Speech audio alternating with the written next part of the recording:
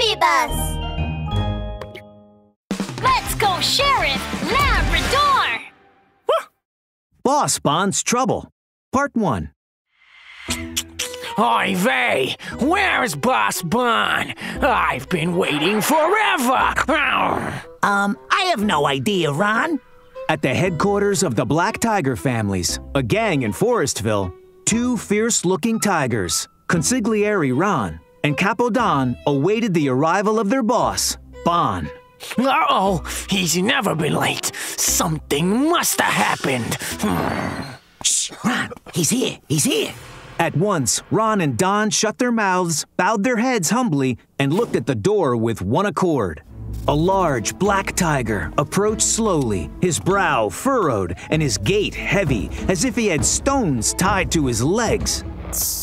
Ouch! Ouch! Ouch! Oh, Uh, boss, are you okay? Sensing something was going wrong, Ron and Don leapt into action, rushed over to Boss Bon like speeding bullets, and put their arms around him to support him. Bon took a deep breath and slowly moved to a chair. His face dropped instantly. I I don't know uh, quite how to say this. Um, Who? Uh, who beat you up, boss? We'll make him pay for what he did. Arr. Yeah, yeah, Ron's right, boss. I will show him my spirited tickling paw. Ron's eyes flashed with the fierceness of the blazing sun. Don rolled up his sleeves and cracked his knuckles. Oi, vey! Listen, I've told you a million times never use your force to solve problems. We Black Tiger families are polite, well-managed citizens. Ow, ow, ah, and no one hit me, alright? I, I just. Ah, let me. Bon trailed off in mid sentence, as if something suddenly was caught in his throat, choking him up, so that he could not speak another word. Oh dear. Go ahead, boss. Ow. You got us on pins and needles. Bon finally opened his mouth, but his voice was as quiet as the buzz of a mosquito. I. I haven't done it in seven days, alas. Pardon? What'd you say, boss? You haven't done what in seven days? Oh, oh, Tish, I, I haven't done that thing. That thing. Oh, you know what I'm talking about. No, what? Arr. oh, I have no idea what you mean by that, boss. Arr. I mean, I mean, go boo boo. I haven't taken a number two in seven days. I feel sick to my stomach. As Bon finished speaking, his face turned beet red. Come on, boss. We are civilized tigers after all. We don't say go poo poo. We say go to the bathroom.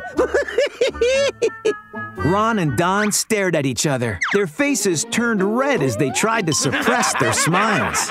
Bon stamped his foot in anger. Hey, you! Why don't you stop laughing and do something, huh? Oh, sorry, sorry, boss. But I, I have no idea how to help. I have an idea, boss. After hearing Don's answer, Bon's eyes sparkled with hope.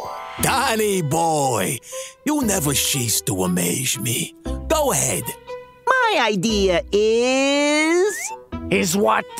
Say it out. to see a specialist in the gastroenterology department of Forestville Hospital. When Don finished speaking, he stared expectantly at Bon, who then reached out and tapped Don's head with his finger. Oh, Don, you really are a piece of work. Oh, boss, that's really kind of you to say. You taught me so well. Hey, that wasn't a compliment. Bon gave Don an angry stare. Listen, if I go to the hospital, oh, everyone will find out that I'm afraid of needles. I mean, I am, after all, the boss of the Black Tiger families. If my secret got out, it would be humiliating. Ow. Mm. How could I maintain my public image as an imposing boss? Huh? What would the other tigers think of me? Oh. What would the lions think of me? And the wolves? Ron and Don were both too afraid to say another word. Oy vey! I really can't count on you guys at all, can I? Ugh. Beads of sweat formed on Bon's forehead, and he felt as if his stomach was going to explode. Finally, with a clenched fist and a sharp slap on his thigh, Bon made a decision so big it would rock the Black Tiger families. After many, many years, the position of underboss has continued to remain vacant. Anyone who can figure out a way to help me to have a smooth bowel movement today, uh, uh, uh, uh, uh, will be promoted to the underboss of the Black Tiger families. Write that down. A position that is uh, second only to me. That's me, the boss, Don. At Bon's ouch, words, ouch, Ron and ouch, Don's eyes instantly twinkled. They rubbed their hands and began to put their thinking caps on. After letting his wheels turn for a few seconds, Ron seized the opportunity to speak. Oh, boss, I've got an idea.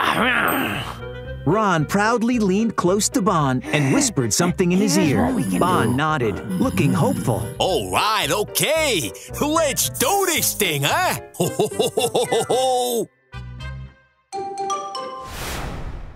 At the entrance to Sunflower Kindergarten, Sheriff Labrador and Ms. Lop Rabbit stood waiting for someone, with expressions of anxiety written on their faces. La la la la, where is Dr. Sheep? We have asked her to give the kids physical exams at the kindergarten. Why hasn't she come yet? As she was speaking, Ms. Lop Rabbit received a text message from Dr. Sheep. Huh? This is Dr. Sheep. I need to take the day off today because I have something very important to do. Rower? Well, today was the day scheduled for the students to have their medical checkups. Why would Dr. Sheep suddenly ask for leave? What could have happened to her? Sheriff Labrador furrowed his eyebrows and fixed his eyes on the last word of the message. Roar? That's weird. Dr. Sheep has a habit of ending her speech with a ba, not a roar. There's something very strange about this message. Could something bad have happened to Dr. Sheep? La la la la! I need to head to her house now and check on her.